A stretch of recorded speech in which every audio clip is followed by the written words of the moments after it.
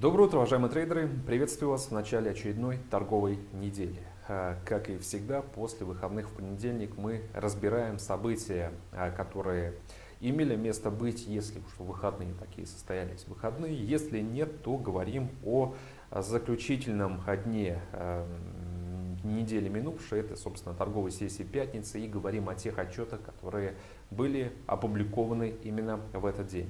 Друзья, сразу хочу сказать то, что эта неделя обещает войти в историю волатильности. Может быть, для кого-то покажется это э, несколько преувеличенным, опять же, суждением с моей стороны, но я все-таки попробую э, аргументировать свою позицию тем, что мы действительно можем столкнуться с очень динамичными движениями финансовых инструментов, потому что мы э, фактически на пороге развязки эм, ситуации вокруг Брекзита. Мы ждем окончательного голосования в Палате представителей, кабинете министров, правительстве, скажем так, в парламенте Англии э, по э, соглашению о Брекзите, вот этого нашумевшего, очень затянувшегося и крайне э, волнительного бракоразводного процесса, который вот с некоторых пор идет между Европейским Союзом и Англией. Завтра это голосование, друзья.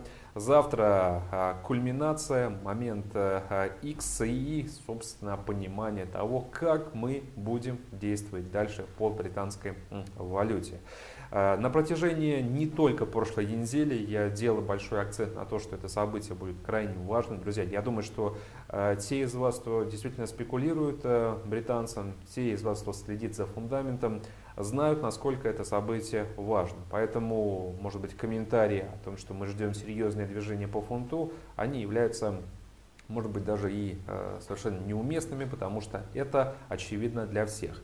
Поскольку речь идет о Брекзите, одном из важнейших политических событий всей мировой экономики, безусловно, в движение придут э, инструменты не только фондового рынка Англии, не только фунт. Э, лихорадить будет э, все площадки.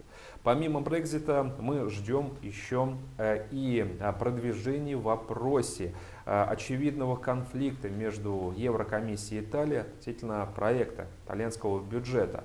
Ну вот, я думаю, вы могли уже заметить то, что европейская валюта довольно неплохо закрыла, завершила прошлую неделю.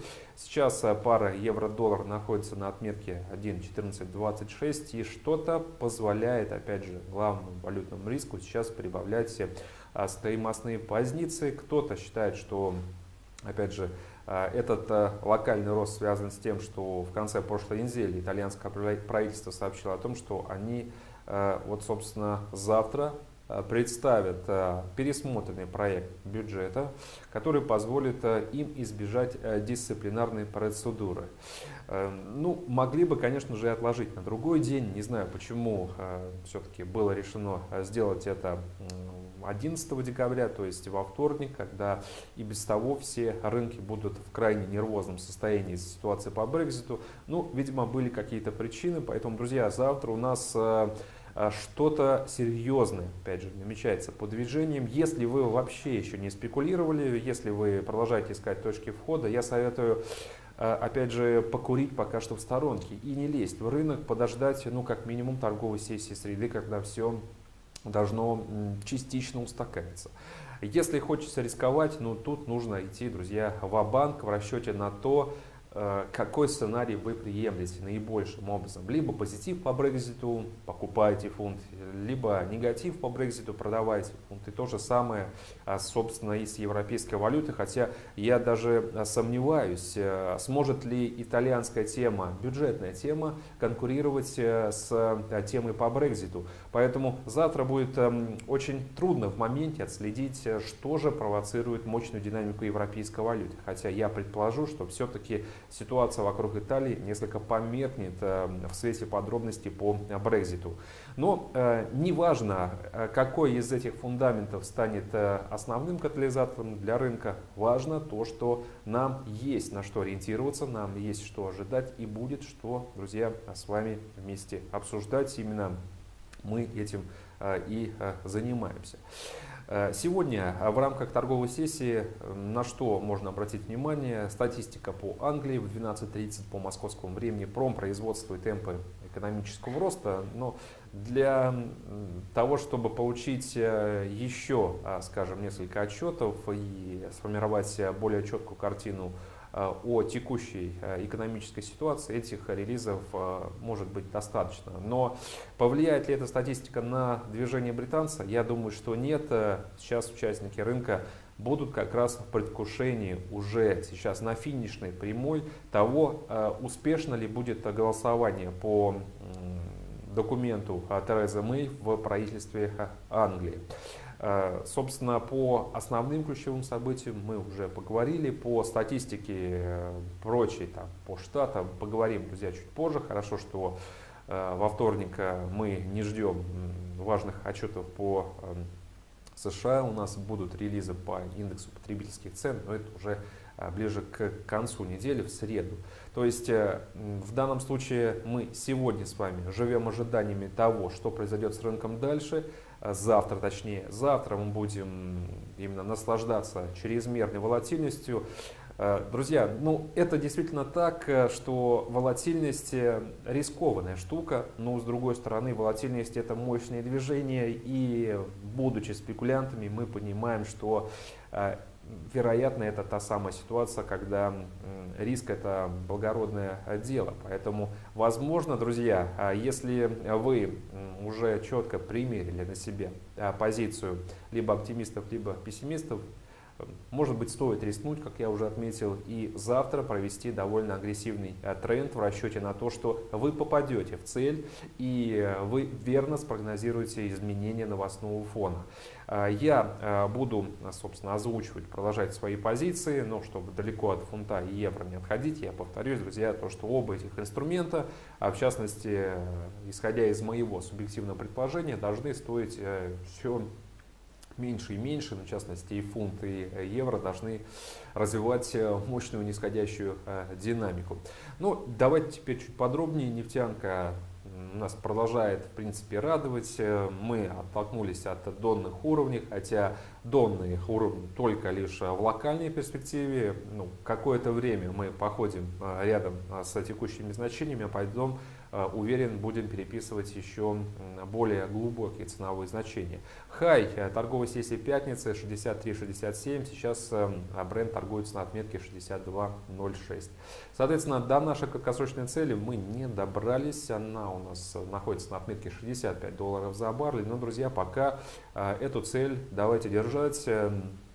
Я уверен, то, что прежде чем рынок вернется к оправданным таким железобетонным аргументам с оценкой на долгосрок и поймет, что э, рынок нефти обречен на еще большее снижение, на рынке будут еще преобладать спекулянты с хорошими деньгами, которые будут стараться еще откупить в расчете на то, что э, соглашение и итоги встречи э, ОПЕК+, заседания ОПЕК+, прошедшего в конце прошлой недели, сможет отчасти, а может быть даже иным образом изменить э, и повлиять на проблему чрезмерного предложения и в конце концов сформировать э, новый бычий тренд. Сразу хочу сказать, друзья, нового бычьего тренда в долгосрочной перспективе я не вижу. Рынок будет дешевле 50 долларов за баррель, но пока что, повторюсь, краткосрочная цель именно в расчете на то, что нужно еще поработать с локальным позитивом конца прошлой недели, Э, я допускаю то, что рост может продолжиться, цель, в принципе, уже обозначена. Э, а теперь по итогам, собственно, заседания их мы ждали еще а, в четверг. Э, ну, видимо, изначально понимая, насколько тяжелыми будут переговоры, представители ОПЕК еще в четверг дали нам понять, точнее даже, прошу прощения, в среду дали понять после встречи технического комитета о том, что основное голосование пройдет в четверг, но если соглашение не будет достигнуто, Э, можно будет захватить еще и э, пятницу, чтобы обсудить там. Ну, самое главное, что рынку нужно дать решение до конца этой недели. В четверг, как вы помните, соглашения не было, и в пятницу рынок тоже весь день ждал, для чего же договорятся представители ближневосточного картеля. Сразу хочу отметить, друзья, почему я э, долгосрочно скептик в отношении нефти. Потому что мы с вами изначально прорабатывали все сценарии и пришли к выводу о том, что предложение, которое является чрезмерным гиперпредложением на эм, рынке черного золота. Проблема, вот эта очевидная, она может быть решена только в том случае, если страны ОПЕК плюс согласуют необходимость солидарного совокупного снижения добычи на 1,4 миллиона баррелей. Соответственно, этот прогноз был отчасти озвучено еще Ираном. Тоже Иран также обозначил довольно пессимистичные цели, если такую цифру не согласуют э, цели по бренду в будущем на отметке 40 долларов за баррель. И э, все более-менее знакомые ситуации на рынке нефти, безусловно, стали ждать какую же цифру вот согласуют. И э, в пятницу, буквально за несколько часов до закрытия торговой сессии, на рынке пришла информация о том, что страны ОПЕК согласовали снижение объема добычи но на э, цифру на 200 тысяч э, баррелей ниже, чем ту, которую нужно было действительно определить для будущего снижения добычи, чтобы решить проблему чрезмерного роста предложения. Вместо 1,4 миллиона, максимум на что пошли участники энергетического пакта и страны, которые пакта и, скажем, Содружество стран ОПЕК+, это снижение на 1,2 миллиона. Страны ОПЕК возьмут на себя по снижению коррекции 800 тысяч, остальные, собственно, 400 тысяч э, будут э, приходиться на участников вне ближневосточного картеля. Ну, понимаем, что львиная часть, э, конечно же, Э, сразу же отходит э, Россия. Иран, э, Венесуэла, Ливия из-за довольно специфических политических, экономических условий освобождены, собственно, от участия, от необходимости в сокращении добычи, потому что производство и так просело уже очень сильно в этих регионах. Поэтому мы ориентируемся, друзья, только вот на показатели 1 и 2. Как это будет эм, реализовываться на самом деле? Собственно, убрать э, с рынка 1,2 миллиона необходимо в перспективе ближайших, ну, было заявлено, то, что этот объем уберут э, э, в перспективе ближайшего полугодия 2019 года уже. То есть 6 месяцев на это понадобится. Э, очень будет интересно, друзья, наблюдать э, в дальнейшем за отчетами и ОПЕК, и Международного энергетического агентства, и поглядывать за статистикой администрации энергетической информации о том, насколько выполняются вот эти условия сделки. Я уверен, то, что темноты будет очень много, статистика будет лукавой. В конце концов, э, мы с вами, будучи медведями, не раз еще убедимся в том, что вот эта коррекция на 1,2, это, знаете, для того, чтобы просто отделать отделаться от всех эм, болеющих вроде бы за то, что происходит на рынке нефти. Это то, что кинули в средства массовой информации и э, якобы подтвердили вот страна ОПЕК э, свою позицию как э, организация, которая следит за балансом на рынке черного золота, за балансом спроса и предложения. Но все равно там все упирается в деньги.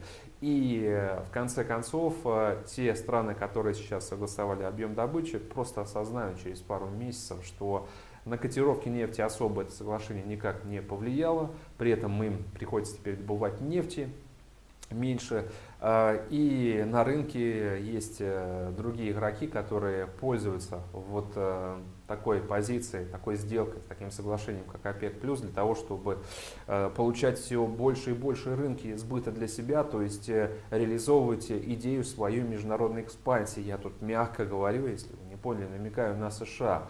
И в доказательство того, что Соединенные Штаты Америки в данном случае эм, ну, являются, наверное, самым большим победителем от всех этих соглашений. Это то, что на текущий момент, вы знаете, сколько нефти добывается Э, в Штатах. А, кстати, вот интересное наблюдение. Э, в 2016 году, по-моему, в начале 2016 года Штаты добывали чуть больше 3 миллионов баррелей. Сейчас, как вы знаете, почти 12 миллионов. Э, в прошлом месяце экспорт нефти из США достиг рекордного показателя и составил 3,2 миллиона баррелей.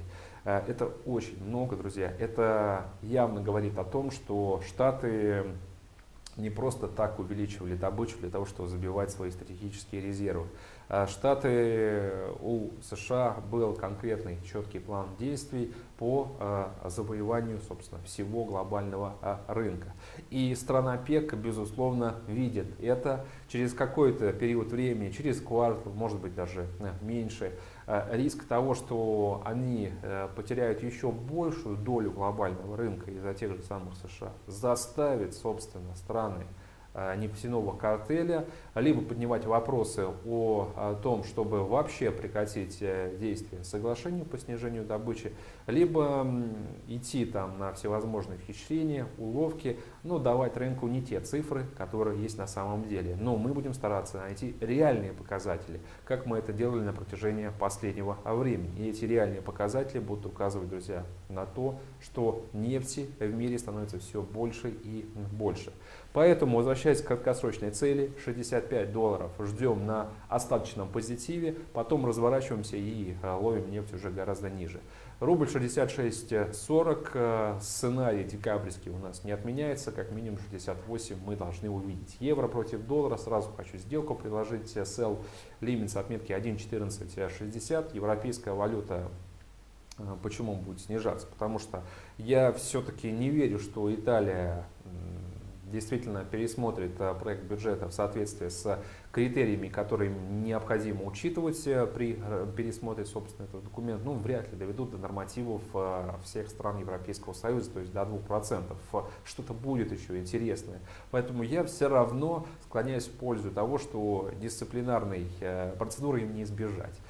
Тема с итальянским бюджетом – это только одна сторона медали. Скажем так, это лишь верхушка айсберга. Есть куда мощь мощное основание негатива, друзья. Это э, мощное основание определяется потенциальным таким же негативом по Брекзиту, который аукнется и на курсе европейской валюты. И также я э, продолжаю настаивать, друзья, на том, что мы сейчас должны быть крайне бдительны перед заседанием Европейского центрального э, банка, который состоится уже в этот четверг. Бдительны с точки зрения того, что нужно быть верными прежней позиции, в соответствии с которой Европейский центральный банк э, будет вынужден все-таки признать э, важность еще сохранения мягкой экономической политики. Вопрос, в каком формате эта мягкая экономическая политика э, будет, с одной стороны, важной, с другой стороны, не важной. Мягкая политика скажем, регулятора, она и в Африке мягкая политика регулятора. Я допускаю, что все-таки программу количественного смещения свернут, но параллельно, к примеру, ничего не стоит и не возбраняется, скажем так, Европейскому центральному банку сообщить о новом, эм, новой программе TLTRO, э, когда собственно, банкам снова будут предоставлять дешевую ликвидность, ну, другими словами, снова будут э,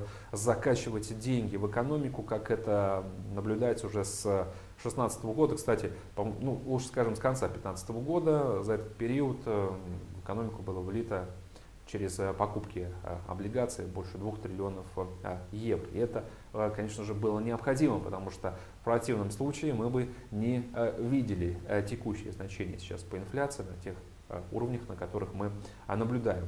И второй момент, почему я абсолютно уверен в том, что Европейский центральный банк Эм, не э, позволит себе сейчас э, не прибегать к разным инструментам мягкой экономической политики. И почему Европейский центральный банк не повысит процентную ставку? Посмотрите на статистику, друзья.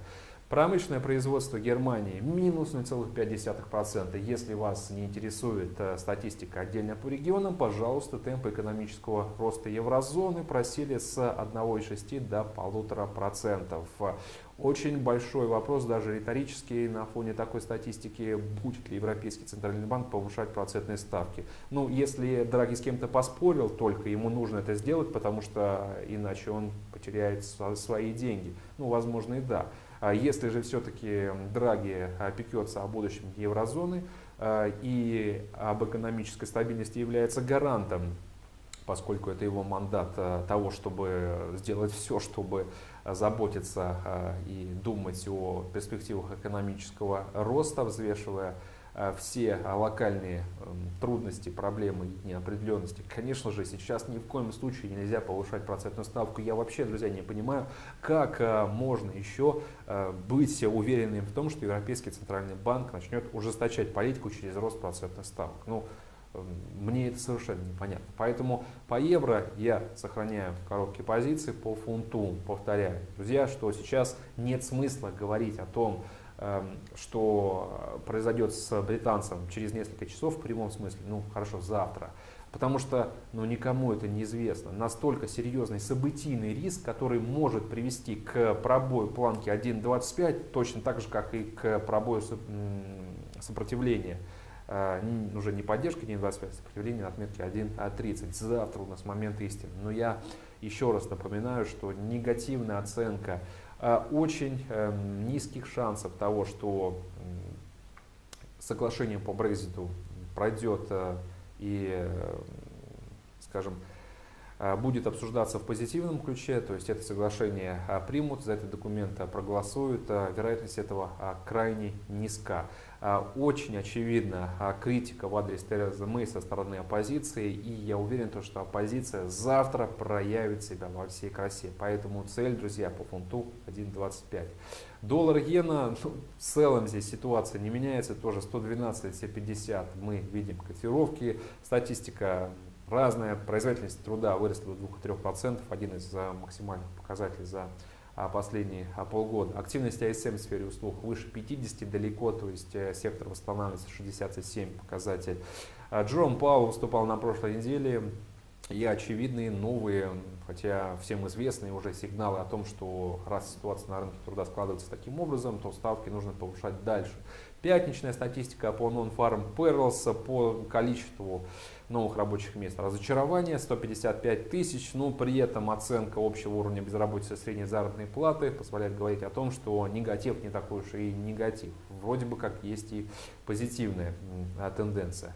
Я, друзья, предлагаю держать длинные позиции по доллару, предлагаю ждать э, заседания Федрезерва и, как и раньше, ни в коем случае не мудрить в расчете на то, что ФРС не поднимет процентную ставку. Поднимет, поэтому доллар лишь э, ждет э, своего часа, чтобы оказать давление и против защитных конкурентов. Сделку предлагаю по доллару иене, buy limit с отметки 112.10. А, кстати, по фунту против доллара сделка sell limit с отметки 1.2790. Австралиец против доллара 0.7223, то есть э, снижаемся, все неплохо, замечательно, уже мы ушли с максимумов там в районе 0.74, две фигуры отбили и ждем пару, как раньше, на отметке 0.70. Надеюсь, то, что до конца этого года, друзья, ну, станем ближе к этому уровню, потому что очень долго уже эта сделка тоже маячит, э, висит постоянно, хотя фон а в целом не очень-то и меняется. Мы постоянно возвращаемся к лиц, остается в числе аутсайдеров.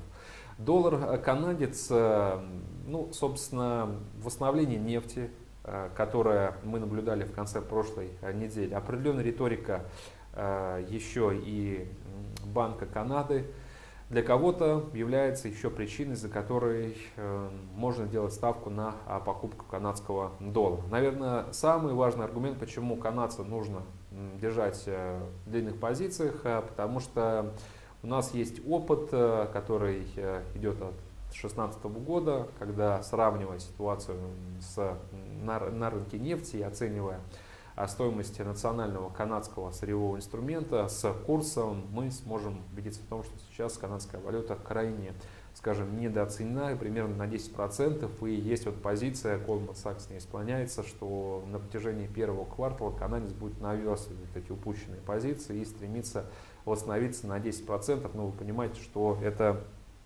около а, полтысячи пунктов, а, которые нужно сделать канадцу против американского доллара. Но я еще раз повторюсь, и вы знаете, что настолько устал торговать канадцам, что э, лишь озвучиваю ну, просто без какого-то энтузиазма то, что такие ожидания на рынке есть. Э, может быть, эта информация будет полезна кому-то из вас, кто еще торгует и спекулирует канадцем.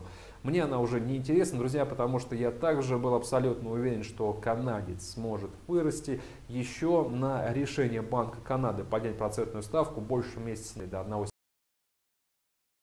1,75. Ну, канадец никак не отреагировал. И сейчас э, ловить вот эти, скажем, факторы, искать их, которые должны э, все-таки реанимировать интерес к канадскому доллару, Я уже этим не занимаюсь, друзья, поскольку у канадцев я уже не торгую. Но еще раз повторюсь, то, что знаю, для многих из вас этот инструмент по-прежнему является одним из э, целевых, которыми вы спекулируете, спекулируете, поэтому без информации я вас, конечно же, не оставлю. Друзья, на этом, собственно, все. Хорошей вам э, торговой недели, текущей торговой сессии. Давайте друг другу пожелаем удачи, потому что завтра у нас очень важный, крайне важный, насыщенный день. Завтра мы с вами увидимся, как и всегда, с утра еще поговорим, может быть, что-то изменится по ожиданиям. То есть э, вы будете точно в курсе всего самого интересного на площадках с точки зрения фундамента. Всего доброго, до свидания.